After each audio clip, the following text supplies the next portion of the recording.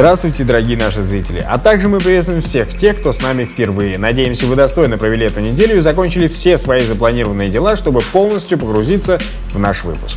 С вами в эфире ваша любимая передача о компьютерных играх и гейм-индустрии Game News Weekend. И мы ее ведущие Хатап и Мини Джек. Мы расскажем вам самые интересные события за прошлую неделю, а также поделимся достоверными слухами, фактами и прочими интересностями. Но немножко в новом формате. Вот, к примеру, чего только стоит новость о том, что в Steam зарегистрировано около 50 миллионов пользователей. Ну и... А ладно. Подробнее смотрите в нашем анонсе новостей. И вот что вы увидите на этой неделе. DICE не будет фабрикой по выпуску Battlefield. Разработчик Metro Last Light раскритиковал Wii U. Какой будет Mass Effect 4? Microsoft расширяет 303 Industries с целью создания Halo MMO, а также рассекреченная информация о Xbox TV и много других интересных новостей из наших рубрик. Оставайтесь с нами!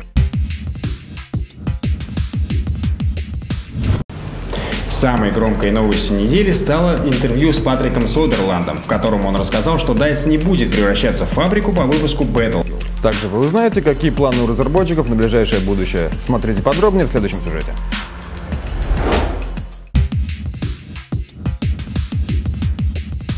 Разработчики все чаще оказываются заложниками собственного таланта. Выпустив одну удачную игру, им приходится бесконечно клеить для нее продолжение.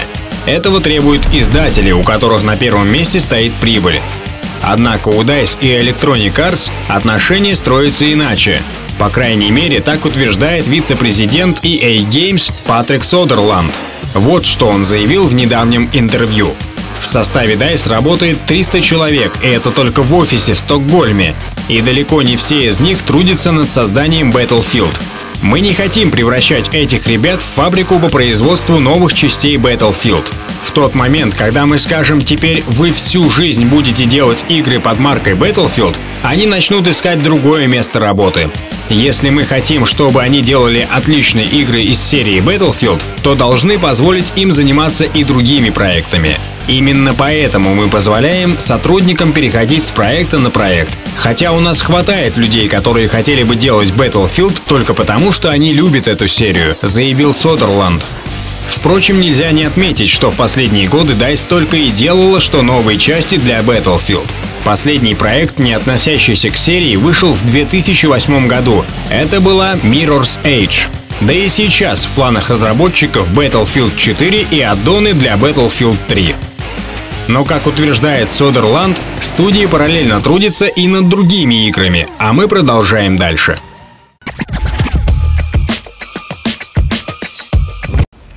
Технические характеристики Wii U могут стать серьезной проблемой для новой консоли от Nintendo. Конечно, для нее уже анонсировали такие игры, как Mass Effect 3, Assassin's Creed 3 и многие другие блокбастеры. Но некоторые разработчики в упор отказываются работать с новой платформой. Производительность которой, кстати говоря, до сих пор считают недостаточно высокой. К числу таковых относится студия 4A Games. Что же именно не понравилось разработчикам Metro Last Light, смотрим далее.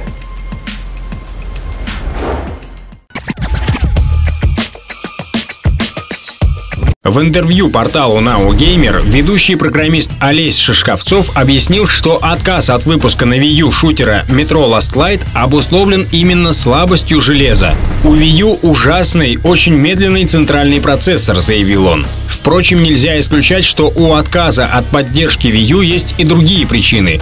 THQ необходимо, чтобы 4A Games как можно скорее завершила работу над Metro Last Light. Этого требуют инвесторы. К тому же у издательства, пережившего серьезный финансовый кризис, просто нет лишних средств на эксперименты с Wii U. Это подтвердил и Хью Бейнон из THQ. Мы изучали Wii U и думали, что она нам подойдет. Но оценив то, как включение Wii U в список целевых платформ повлияет на качество игры, мы приняли решение отказаться от этой идеи. Конечно, когда-нибудь мы можем вернуться к Wii U, но ничего обещать я не могу, сказал он. В данный момент Metro Last Light создается для PC, PlayStation 3 и Xbox 360. Игра должна выйти в марте следующего года, а мы переходим к следующей новости. поклонников Mass Effect есть отличная возможность внести свой вклад в разработку следующей части сериала. Еще несколько недель назад BioWare заявила, что готова принять интересные идеи от игроков. А теперь продюсер игры Кейси Хадсон обратился к фанатам с конкретным вопросом. Каким? Смотрим далее.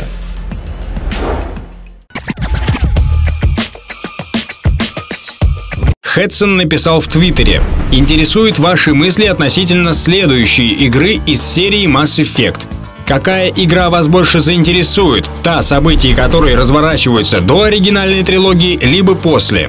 Конечно, завязка первой части Mass Effect поклонникам серии хорошо знакома, однако многие из них наверняка не отказались бы заглянуть в прошлое и, возможно, узнать какие-то подробности из биографии молодого Шепарда, либо других знакомых героев.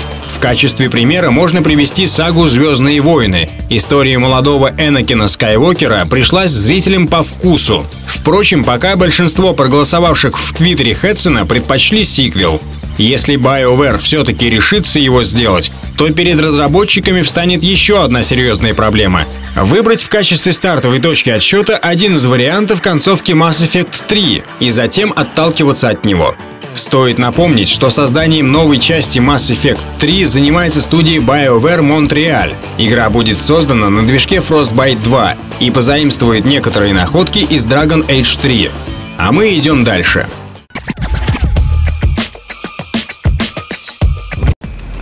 Всем нам хорошо известно, что четвертая часть серии Хэлла положила начало для новой трилогии. А это значит, что в будущем нас ждет как минимум две части, пятая и шестая. Но не все так просто, как кажется. Microsoft дополнила список вакансий в 343 Industries двумя позициями инженеров программного обеспечения, специализирующихся на многопользовательских онлайн-играх, тем самым породив массу слухов, каких именно, смотрим далее.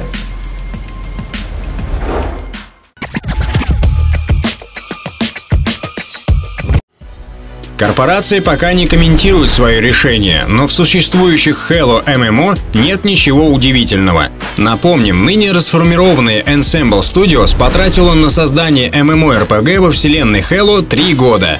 Проект закрыли в 2007 году. К тому времени корпорация вложила в него 90 миллионов долларов. Каков вывод? Все просто. Microsoft разделит команду 343 Industries на две части. Одна займется реализацией Halo Reclaimer Trilogy на консолях следующего поколения, а вторая — созданием новой многопользовательской пострелушки. А раз уж на то пошло, корпорация просто обязана посвятить нас в свои планы. А мы переходим к следующей новости.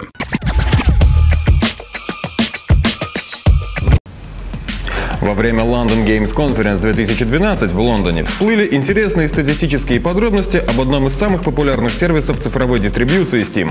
Джон Кларк также поделился другими интересными подробностями о сервисе Valve. Об этом всем подробнее смотрите в нашей следующей новости.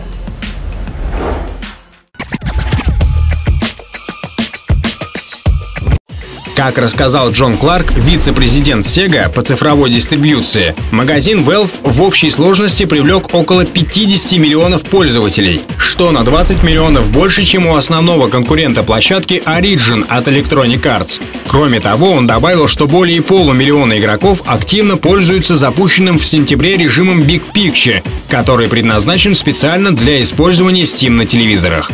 Например, максимальное число игроков, одновременно подключенных к системе, недавно превысило 5 миллионов, а количество контента, появившегося в Steam Workshop, достигло 300 тысяч единиц.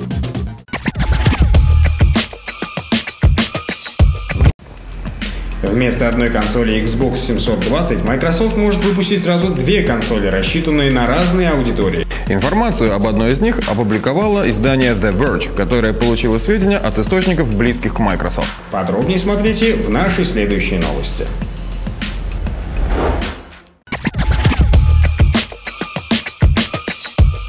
По данным журналистов, в следующем году состоится презентация Xbox TV, приставки, которая в первую очередь будет предназначена для доступа к всевозможным развлекательным сервисам, в изобилии представленным на Xbox Live.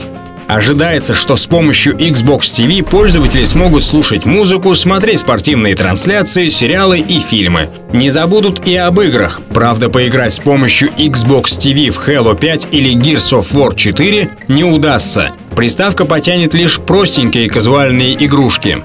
О технических характеристиках Xbox TV пока нет информации. Зато известно, что консоль будет работать на базе модифицированной версии OS Windows 8, что позволит ей стать частью глобальной развлекательной системы, которую строит Microsoft. По слухам, презентация Xbox TV состоится примерно в одно время с анонсом другой новинки Microsoft — полноценной игровой консоли следующего поколения. Она-то как раз и получит мощное железо, которое без труда справится с любыми играми. При этом Xbox TV выступит в качестве более доступной альтернативы для тех, кто реже играет, но чаще смотрит с помощью консоли сериалы и пользуется другими развлекательными сервисами.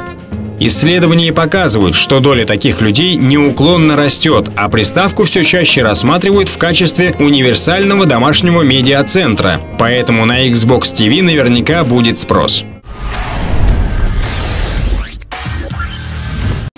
Вот такими были главные новости минувшей недели, которые принесли немало сюрпризов. Ну а мы постепенно переходим к не менее интересной рубрике «Коротко о главном». И вот что вы узнаете в ней.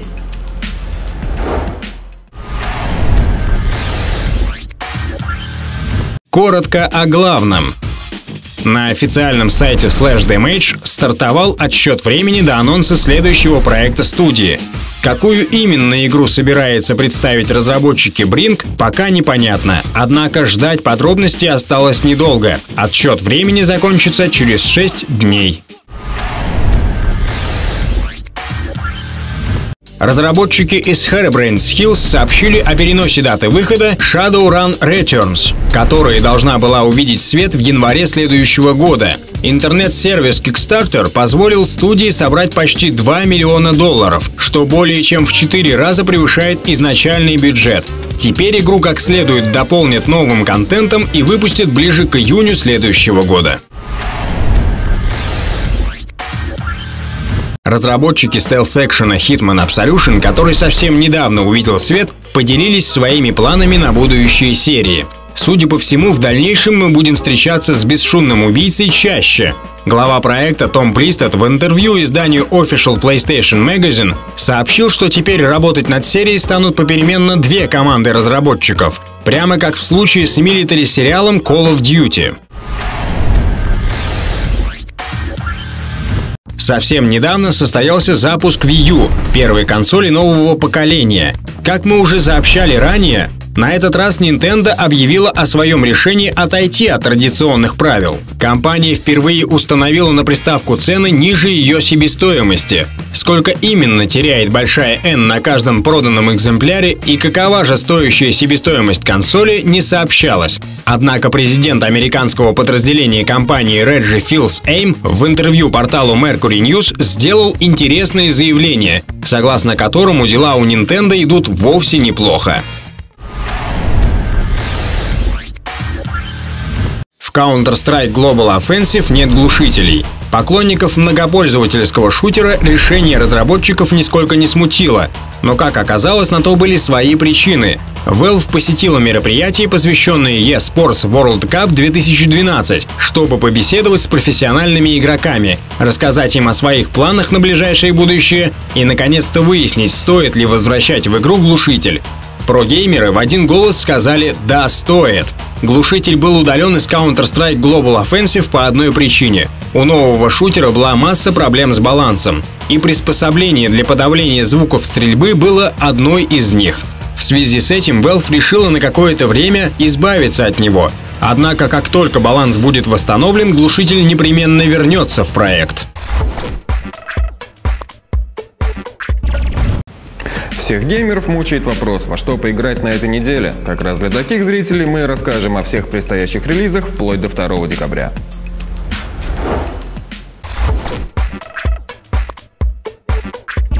Во что поиграть на этой неделе? 27 ноября выходит Mass Effect 3 Omega, сюжетное дополнение для Mass Effect 3 от студии BioWare. Сюжет Омега основан на комиксе Evasion, предварявшем события Mass Effect 3. 28 ноября в свет выходит Baldur's Gate Enhanced Edition – изотермическая ролевая игра от студии Averhowl Games. Endhound Edition является произведением оригинального Baldur Gate, вышедшего в 1998 году. Также 28 ноября выходит Miasmata, приключенческая игра с элементами хоррора от студии IonFX.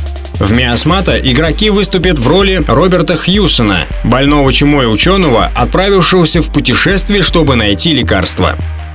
Еще 28 ноября выйдет Stealth Bastard, аркада от Curve Studios. В Stealth Bastard игроки используют технику скрытности, чтобы избегать противников, прогрессировать по уровням и решать различные головоломки. Steam-версия является переизданием оригинального Stealth Bastard, вышедшего 5 ноября 2011 года. 29 ноября уже выходит Far Cry 3, Продолжение известного экшена от первого лица серии Far Cry, разрабатываемая студией Ubisoft Montreal. Главный герой игры, журналист Джейсон Броди, должен спастись с тропического острова, населенного головорезами и бандитами. Видеообзор на Far Cry 3 ждите от нас на канале сразу же после релиза игры.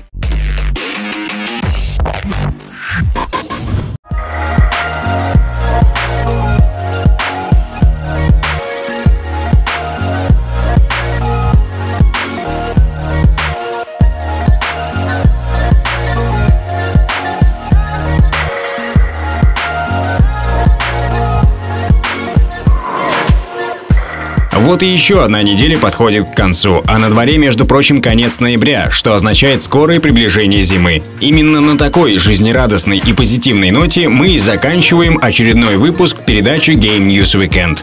А вы закутывайтесь потеплее, играйте в мультиплеер и в хорошие игры. И главное, не хворайте. Увидимся снова, как обычно, через неделю. Чтобы больше узнать, не забывайте подписаться на наш канал и вступить в нашу группу ВКонтакте. А также не забывайте ставить большой палец вверх и лайк. Следите за нашими обновлениями и анонсами на этой неделе. А мы прощаемся с вами, но ненадолго. До скорой встречи на X Games Game TV. Смотрите наш канал и играйте только в лучшие игры.